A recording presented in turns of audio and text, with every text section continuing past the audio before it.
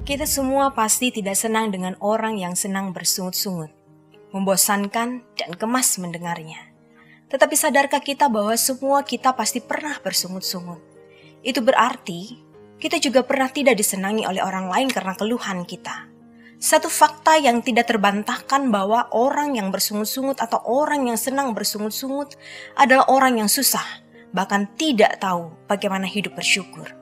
Bangsa Israel juga suka bersungut-sungut karena memang mereka tidak tahu bagaimana seharusnya mereka bersyukur kepada Tuhan.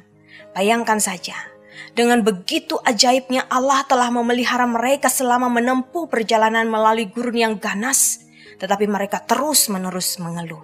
Mereka bersungut-sungut tentang mana yang disediakan dan begitu murah hati oleh Allah. Ketika mereka teringat dengan ikan, buah, gandum, dan sebagainya yang ada di Mesir, mereka mengeluhkan keadaan mereka di padang gurun. Mereka kehilangan alasan untuk bersyukur kepada Allah yang sangat jelas menyertai mereka tidak hanya pada peristiwa tertentu saja, tetapi dalam setiap keadaan mereka.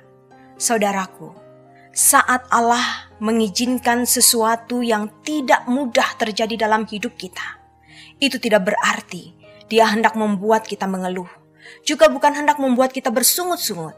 Sebaliknya, Ia sedang melakukan sesuatu demi kebaikan rohani kita. Tuhan ingin hidup kita selalu bersyukur dalam setiap keadaan apa pun juga karena itu, jangan biarkan keadaan yang paling tidak nyaman sekalipun merenggut rasa syukurmu.